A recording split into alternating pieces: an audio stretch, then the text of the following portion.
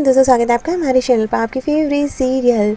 इमली में चल रहा है हाई वोल्टेज ड्रामा जहाँ पर अब खुद का फ़ोन, यानी ज्योति का फ़ोन ही फोड़ेगा, उसका भांडा दरअसल आने वाले एपिसोड में देखने को मिलने वाला है। ज्योति डॉक्टर से रिपोर्ट बदलवा देती है और ये रिपोर्ट लिखवा देती है कि वो कभी इमली माँ नहीं बन सकती, जिसके बाद में डॉक्टर को पछतावा ज़रूर होता है, लेकिन प्रीता उसे धमकाते नज़र आती और कहती है कि मेरे ही मोबाइल में तुम्हारे सबूत हैं, जो मैंने पैसे दिए और रिपोर्ट बदलवाई उसके। तो अगर मैं फंसी तो तुम भी फंसोगी और उसको धमकी देते नज़र आती है। लेकिन ये मोबाइल जल्द ही लग जाने वाला है, इमली के ही हाथ। जी हाँ दोस्तों, शो में हाई वोल्टेज ड्रामा शुरू होगा, जहाँ पर अब नर्मदा बुरी तरह से भड़कते नज़र आएगी इमली पर, उसकी इनफर्टिलिटी को लेकर और वो खानदान का वारिस किसी भी कीमत पर उसे चाहिए, जिसके चलते वे उसे घर से निकालने और तलाक देने की धमकी देगी, लेकिन आर्यन ऐसा होने नहीं देगा। लेकिन यहाँ पर नर्मदा इमली को बिल्कुल पसंद नहीं करती है तो देखने को मिलने वाला है कि यहाँ पर दूसरी तरफ़ किस तरह से अब इमली अपनी बेगुनाही का सबूत, यानी कि अब आर्यन वादा करता है कि वो खानदान का वारिस ज़रूर ला के देगा,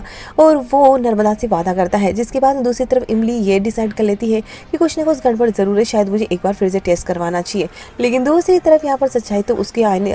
होश तो तब उड़ा देगी जब वो देख लेगी फ़ोन, वो भी ज्योति का, जिसमें कि सबूत होंगे डॉक्टर के, जहाँ पर वो रिपोर्ट बदलवाई गई है। और देखने को मिलने वाला है कि अब यहीं से इमली को अपनी बेगुनाही के सबूत मिलेंगे और अपनी माँ बनने के सबूत भी उसी मोबाइल से मिलेंगे कि वो माँ बन सकती है। जिसके बाद नहीं यहाँ पर कहानी में ट्विस्ट आएगा और ज्योति की बैंड बजने वाली है, जहाँ पर आर्यन और पूरे परिवार का गुस्सा उस पर फूटेगा और यही वजह बनेगी कि ज्योति को धक्के देकर आर्यन तो घर से निकालेगा ही। ज्योति को अब कोई और नहीं, नर्मदा भी घर से धक्के देकर बाहर निकालती नज़र आएगी और इमली से माफ़ी मांगेगी।